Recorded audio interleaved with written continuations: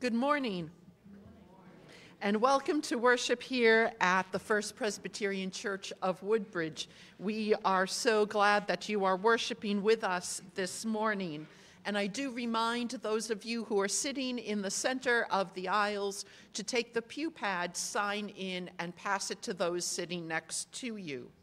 I also invite all of you to fellowship time next door following worship. And Bob said he had two an- announcements. And there he is. Ta da!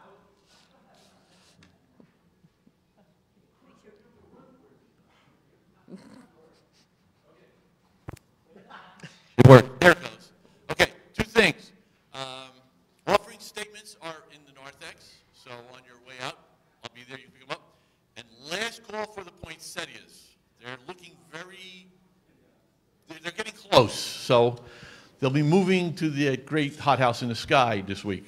So if you want one, they're in the reading room. There's a whole bunch of them back there if you'd like some. Thank you, Bob. The, the other thing I would like to, to let you all know is if you contact me this week, please know that I will, will most likely not get back to you very quickly because I have jury duty this week. So I will be near my computer checking it every 15 to 20 minutes and not being able to. Tomorrow I get my training and I've got the list of rules yay long. And so, so leave me a, a message and when I can return your call or your text or your email, I will. And I, and I am praying that I do my one week and will be done. Um, I do call your attention to the announcements that are in the bulletin.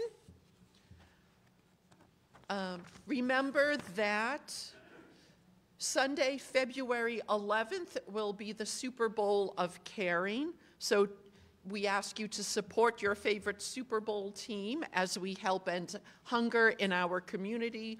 Also on February 11th during fellowship time, we will be having a Shrove Sunday pancake brunch. And that is to re- also remind you that Ash Wednesday is February 14th, and our community service will be hosted by Community Presbyterian in Edison. And as the pastors plan it out, more information will come. And I'm also reminding you that we are doing the baby bottle campaign again. It's on in your bulletin. And so please l- look at that as well. Are there any other announcements that need to come before us at this time? Seeing none, then let us begin our worship with our opening music.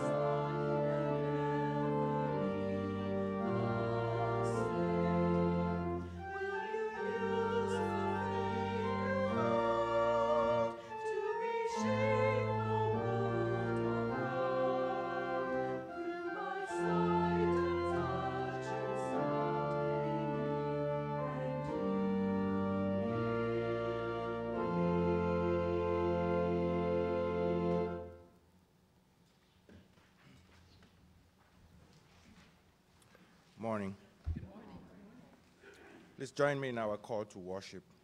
Everlasting God, our souls wait for you. You are our mighty rock. We will not be shaken. Everlasting God, our souls wait for you. You are our hope. We place our trust in you. Everlasting God, our souls wait for you. You are our refuge. We rest in your abiding love. Let us pray. O God, you are light and our salvation. Living in your presence, we have nothing to fear. Open our hearts to your word this day as we hear the story of the call of the first disciples. Make us ready to follow Jesus on whatever path he leads us. Cast aside our fears and doubts and teach us to trust wholly in you. For we ask this in Jesus' name. Amen. Please rise in spirit or body and join in our opening hymn 761, Called as Partners in Christ's Service.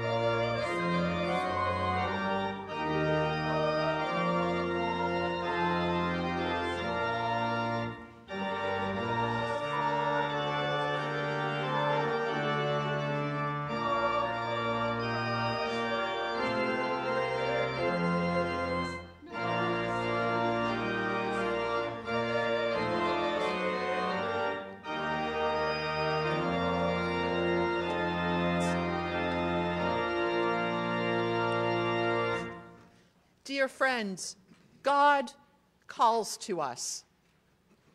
And sometimes we want to run away and hide. Together, let us pray our prayer of confession. Holy God, we listen to the stories of the call of the disciples and find them unrealistic. We believe that we could not leave everything to follow someone we didn't know. We have many responsibilities and ties which keep us from following.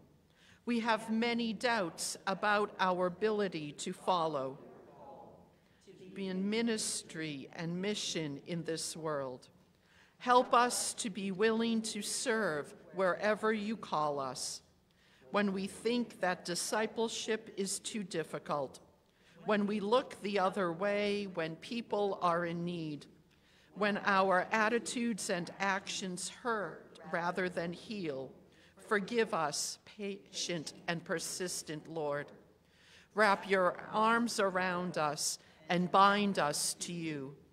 Gently move us into service in your name. Amen.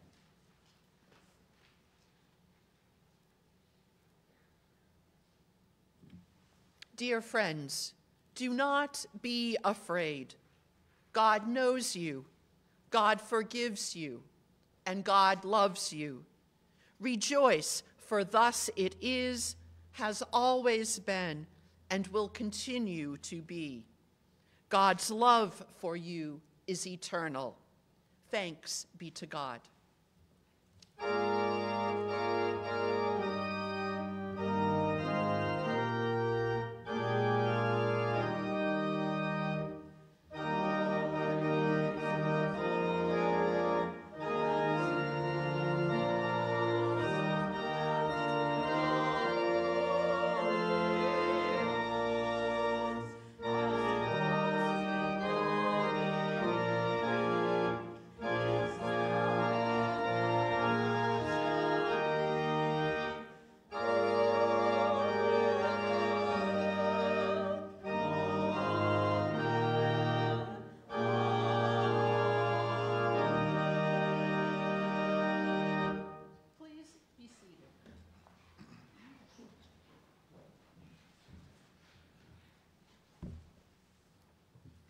Let us pray. The Word of God meets us where we are. As we listen to these scriptures, may we respond to God's call in our lives. Amen.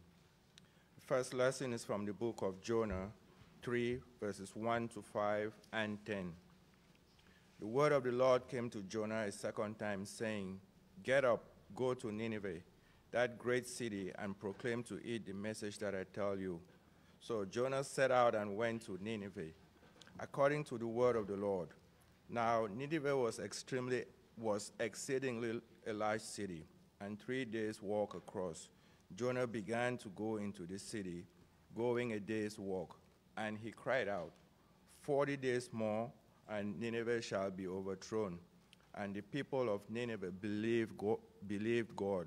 They proclaimed a fast, and everyone, great and small, put on sackcloth. When God saw what they did, how they turned out for their evil ways, God changed his mind about the calamity that he had said he would bring upon them, and he did not do it. The word of the Lord.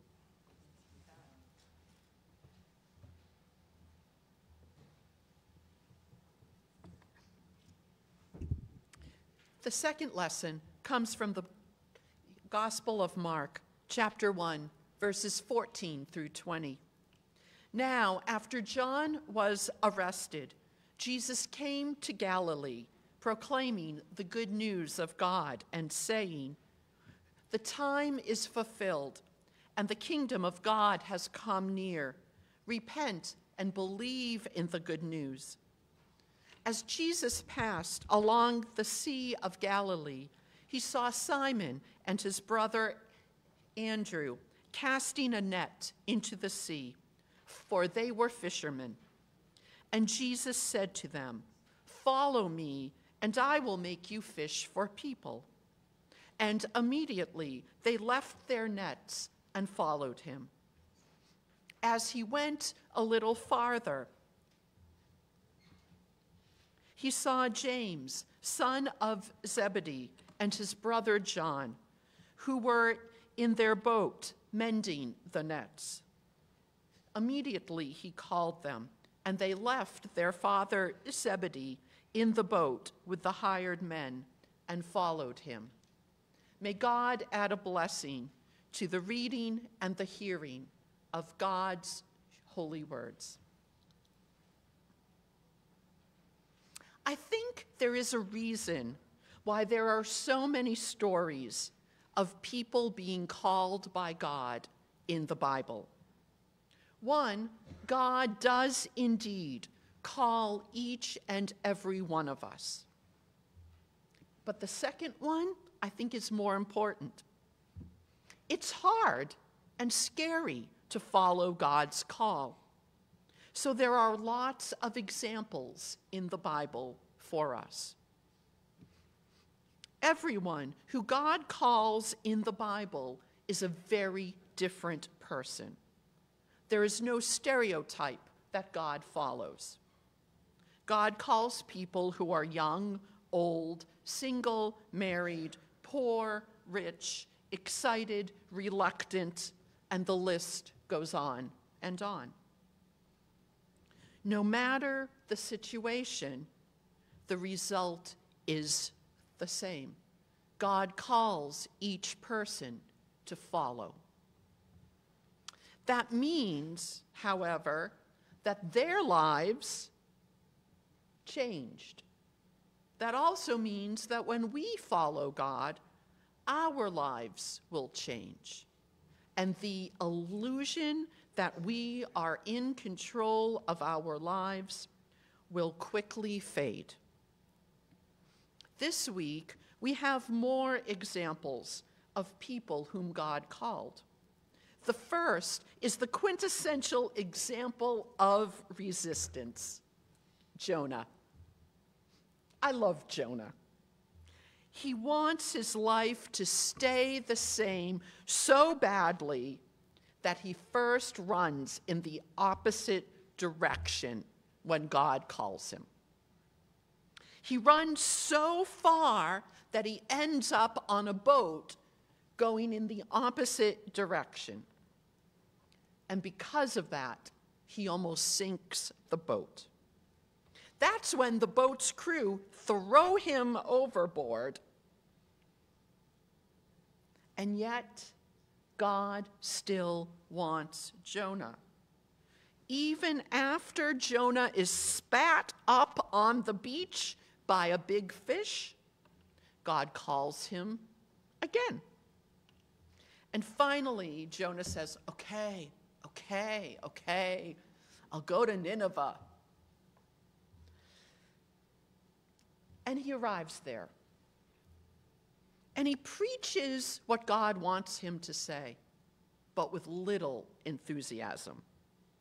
It's as if Jonah is saying to God, You can make me do this, but I don't have to like it. Now, we can all add our own examples in our heads of who this reminds us of. If you're like me, you'll be putting in your own name at this point. But the interesting thing about this is that even with Jonah's lackluster preaching, the inhabitants of Nineveh, including the king, hear the message and repent. They repent so well that God decides not to punish them. Jonah's preaching, lackluster as it may have been, worked. And the rest of the book of Jonah talks about how Jonah was so unhappy that his preaching worked and that the Ninevites repented. I think we can all relate to Jonah because we want our lives to stay pretty much the same as they are now. We want to follow God, but we really don't want the boat rocked that much. The first reason is the most obvious one. We don't want our lives to change that much. We kind of like things the way they are. But the second reason is almost, almost more subtle and more important. Sometimes we ignore God's call in our lives because we don't want how we think about the world to change. That's what Jonah wrestled with after the people of Nineveh repented. Jonah had to change his image of the people of Nineveh. He could no longer say that they were evil or that they lived in ways that did not follow God. They had repented and they began to follow God. That meant that Jonah's worldview had to change. And he didn't like that he had to change his assumptions. When God calls, the world changes, not just our individual lives. And that can be a hard idea to grasp and live. God has a plan for the world that we are a part of. We need to change the way we look at ourselves and at the world. It's no wonder that Jonah ran away from his call, because being called by God can truly be unsettling. The passage from Mark tells the story of the calling of the two sets of brothers, Simon and Andrew, and James and John. And I've always had this image of Jesus calling the disciples as individuals. They each heard the call of Jesus and they followed. When I read the, pas- the passage this week, something I had overlooked stood out to me. The disciples were not only individuals, they were the heads of their households. They made enough money as fishermen that they owned houses and they could even hire extra help for their business. These men were proper members of their community. They had status and responsibilities and obligations. Their leaving their lives and following Jesus had huge repercussions, not only for them, but for their families and their community. And yet, they still followed Jesus. And yet, they still followed Jesus. I wonder what it was about Jesus that made these men turn their lives upside down and follow him.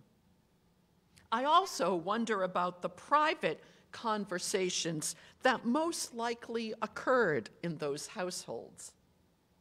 I have this memory of my mother one day in while they were having while my parents were having a discussion. I have this image of my mother looking at my father with that look and saying ra- rather scornfully, You are doing what? And yet, these men said yes to Jesus. They turned their world upside down. They said, Yes, we have been fishermen, but now we are devoting our time and our energy into the message and teachings of this prophet. These first disciples were willing to give up their security and their routine for Jesus' message of God's all encompassing love and grace for everyone. What would it take for us to turn our lives upside down to follow Jesus? How would we respond if we heard a call from Jesus to leave everything we knew and to follow? I truly understand Jonah's reactions. And the more I think about it, I am truly in awe of those first disciples. They felt something so dramatic that the only response that they had was to look at everyone who said and thought that they were crazy and said, I don't care, I'm following Jesus. Following Jesus sometimes takes courage and strength. Following Jesus sometimes is being countercultural. Following Jesus sometimes may mean that some people think that you're a bit crazy.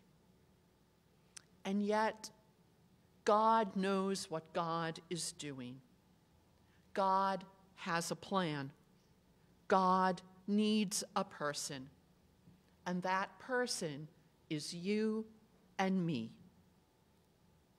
May we welcome God's call in our lives, and may we follow those first disciples and follow Jesus.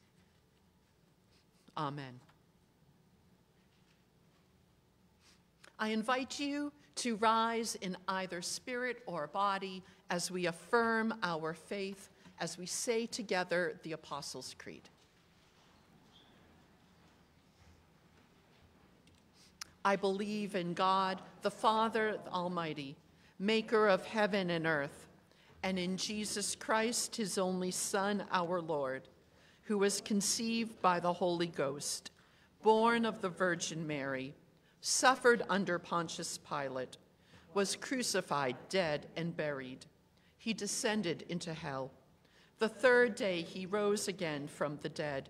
He ascended into heaven and sitteth at the right hand of God, the Father Almighty.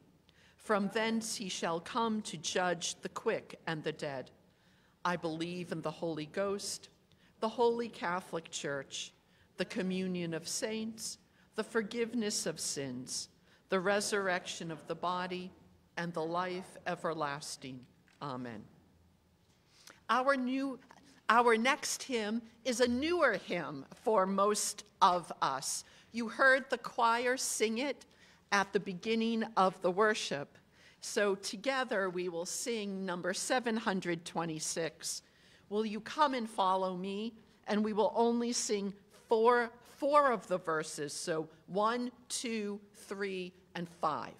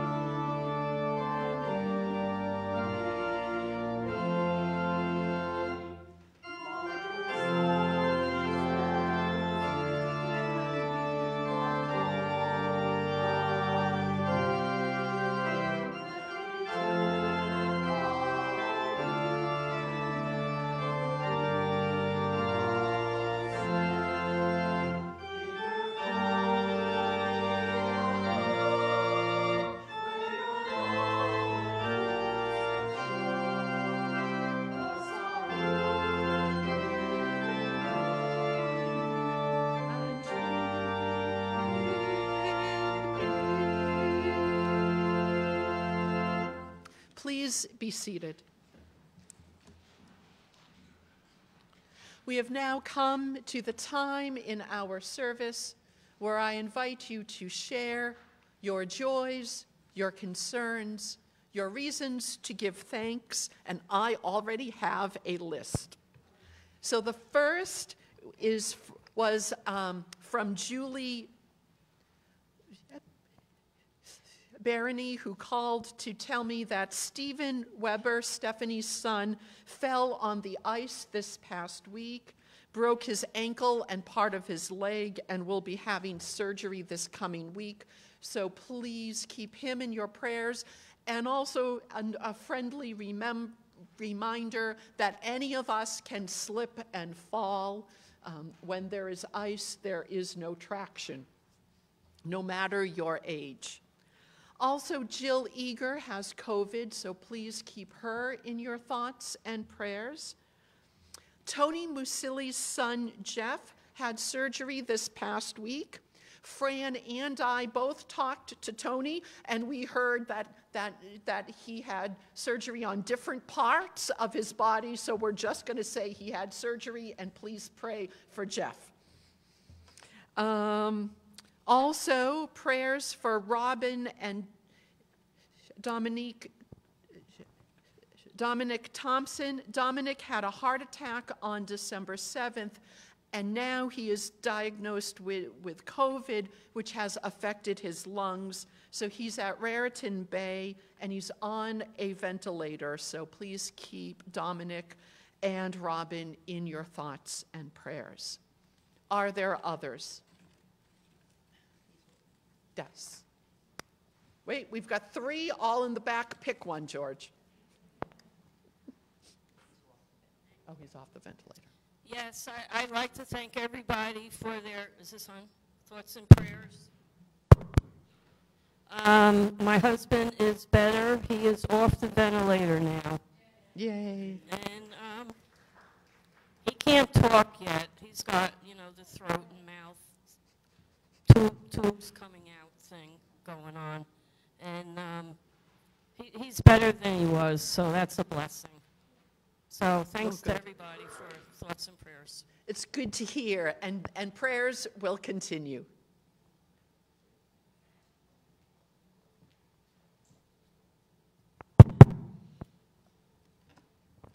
I'd like to also ask for prayers for our dear lifelong friend named Frank. He too had COVID. Okay, wait, I'm going to stop. We can't understand the, the, the microphone's garbling it. So I'm hearing blah, blah, blah,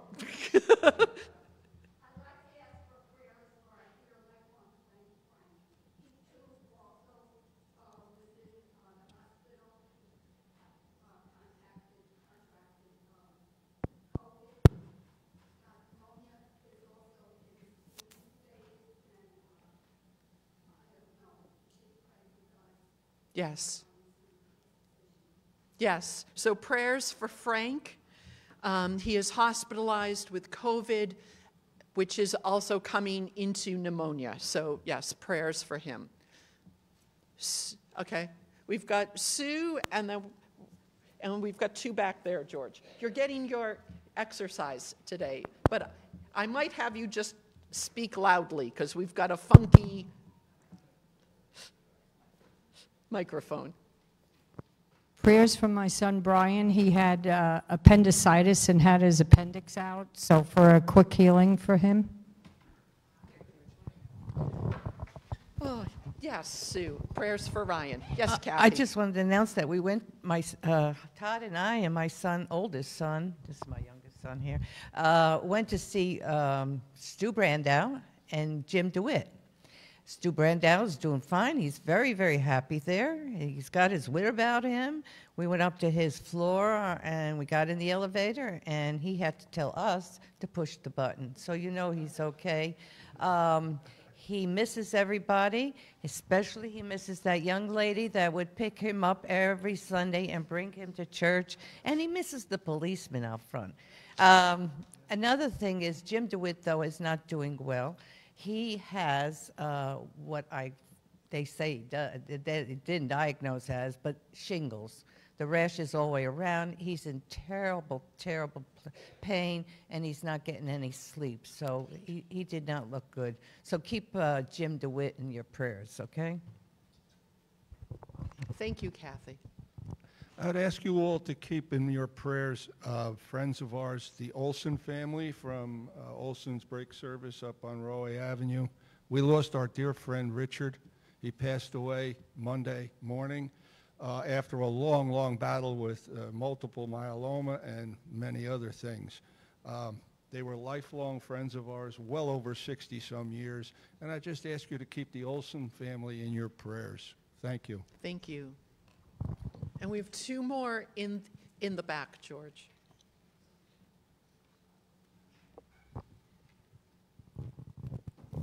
I just wanted to ask for prayers for my mom. Her name is Jean. She is going for a CAT scan this week um, to see if her chemo treatment is working.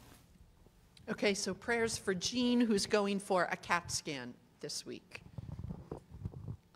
Joe, the police officer who crosses us every Sunday, asked for prayers for his mother, who's now in the hospital with COVID and pneumonia.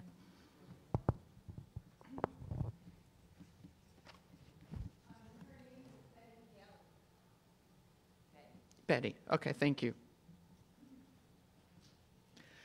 This is also the friendly reminder that COVID, along with everything else, is going around again, so take precautions as you all see fit. Are there others?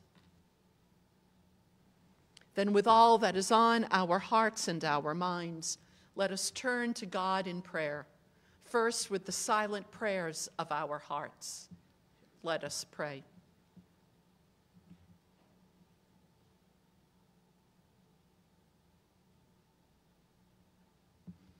Holy God, you call us to be your disciples in this world. And some days we have every excuse not to do it. However, God, keep calling to us like you called to Jonah. Remind us that we do indeed have what you need, and we are perfectly capable to do what you ask. Inspire us, God, so that we may follow your call and bravely walk on the road you set for us. And remind us, Holy God, that we do not do this alone, that you create communities of faith, communities that love and care and support each and every one of us as we live out our call from you. Remind us that when we take the time to pray and when we take the time to remember you, things that weighed heavy on our hearts will seem lighter. Ways that we are convinced cannot happen will open up. Guide us, Holy God, to become your faithful people, following your call in our lives. Today, Holy God, we pray for all of those people who grieve and mourn.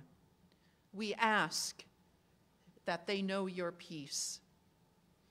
We pray with everyone who celebrates and rejoices on this day, knowing that those celebrations are sweeter with your presence. We pray for all of those people who are ill in body, mind, or spirit. We ask that your healing presence come upon them and that your guidance be with all who care for them. We pray, Holy God, for all of those people who wrestle with questions that loom so large and answers that feel so small. We ask that they know your hope. We pray, Holy God, for all of those people who freely give of themselves in so many different ways, so that we may lead our blessed lives. We ask that you keep them safe. And always, Holy God, we pray that there would be an end to violence and war and hatred, and that your peace and your justice and your mercy come to all corners of our world.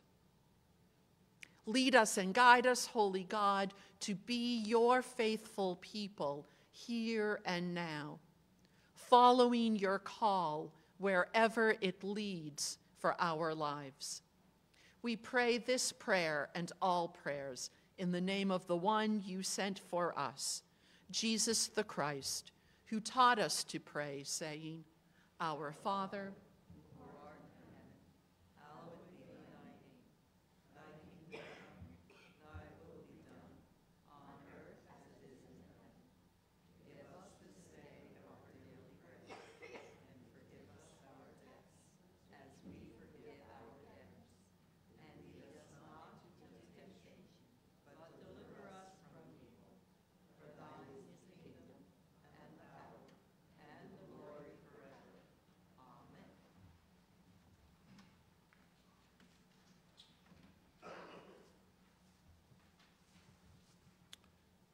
This is our time of offering, where we respond with gratitude to all that God has given us.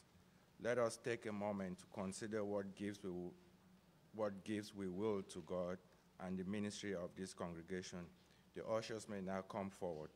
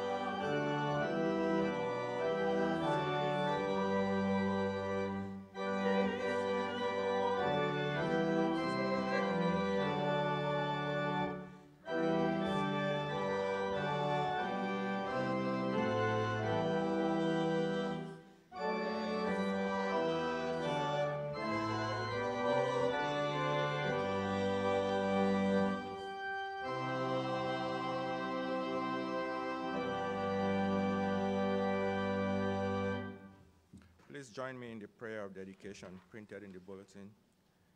Compassionate God, bless our gifts this morning.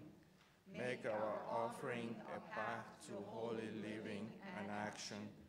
May our reflect our faith and our commitment to your word. With generous hearts we pray. Amen. Our closing hymn is hymn 720, Jesus Calls Us.